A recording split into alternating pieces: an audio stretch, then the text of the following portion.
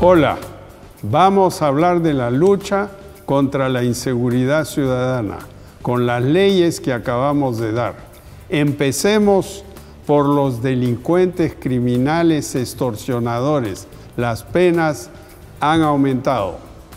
Sigamos con los celulares, el robo más frecuente, 5.500 al día.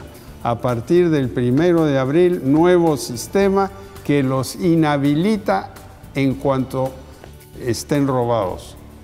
Más policías en las calles. Emergencia en las prisiones para construir más prisiones y tener cárceles educativas para los jóvenes que tengan otra actividad cuando salgan. Eso es parte de nuestro programa, pero necesitamos la ayuda del Poder Judicial. Los monos de Quepampa se capturaron a 28 y se soltaron a 27. Los malditos de la hollada se capturaron a 17 y se soltó la mitad. Así no es pues.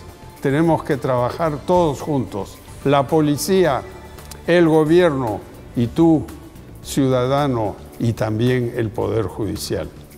Estas son leyes que cambian vidas, que cambiarán tu vida. Gobierno del Perú, trabajando para todos los peruanos.